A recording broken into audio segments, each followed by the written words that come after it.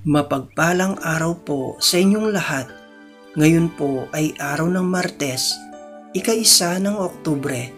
Pakinggan po natin ngayon ang mabuting balita ng Panginoon. Unang pagbasa.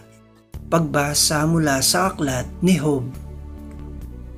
Pagkaraan ng matagal na pananahimik, nagsalita si Job. Sinumpa niya ang araw ng kanyang pagsilang. Ito ang kanyang sinabi hindi na sana ako ipinanganak at sana'y hindi ipinaglihi. Bakit di pa ako namatay sa tiyan ng aking ina? O kaya nung ako ay isilang niya? Bakit kaya ako ay ipinaghele pa, inaruga, inalagaan, binuhay sa dibdib niya? Kung namatay ako noon, ako sana'y tahimik na, mahimbing na natutulog, wala nang iniisip pa. Katulad ng mga hari at tagapamahalang pumanaw na nagtayo ng mga palasyo ng kanilang kapanahunan.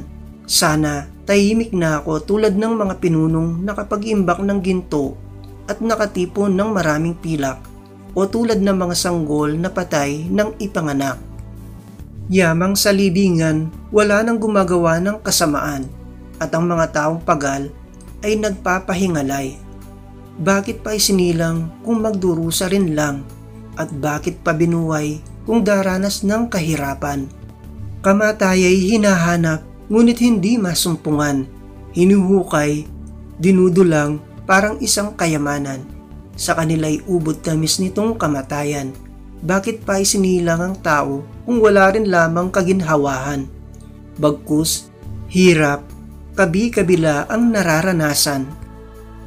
Ang Salita ng Diyos Salamat sa Diyos. Salmong Tugunan Panginoon, ako'y dinggin sa pagsamo ko't dalangin. Panginoong Diyos, tumatawag ako sa iyo kung araw. Pagsapit ng gabi, dumudulog ako sa iyong harapan. Ako ay dinggin mo. Pagdalangin ko, ako ay pakinggan. Sa aking pagdaing, ako ay tulungan. Panginoon, ako'y dinggin sa pagsamo ko't dalangin.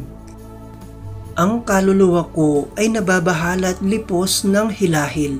Dahilan sa hirap, wari malapit nang ako ay malibing. Kabilang na ako, niyong malapit ng sahukay ilaga.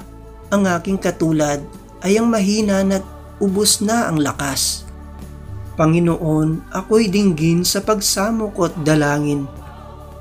Ang katulad ko pa ay ang iniwan sa gitna ng patay. Ani mo'y nasawi na nananahimik sa kanyang libingan.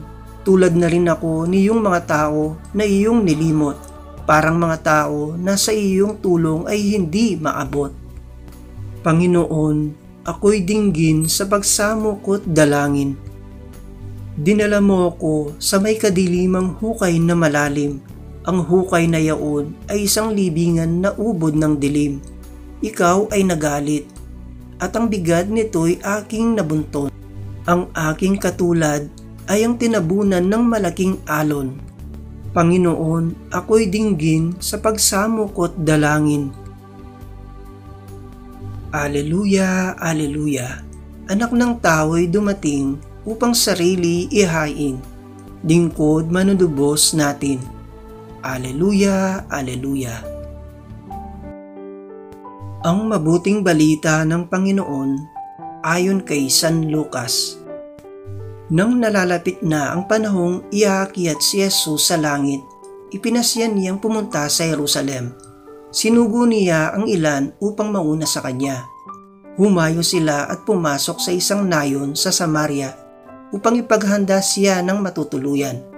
Ngunit ayaw siyang tanggapin ng mga Samaritano sapagkat siya'y patungo sa Jerusalem.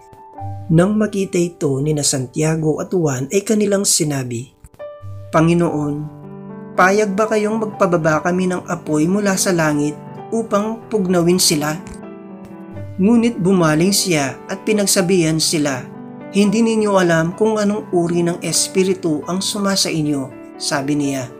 Sapagkat naparito ang anak ng tao, hindi upang ipahamak ang mga tao kundi upang iligtas sila at nagtungo sila sa ibang nayon. ang mabuting balita ng Panginoon. Pinupuri ka namin, Panginoong Heso Kristo.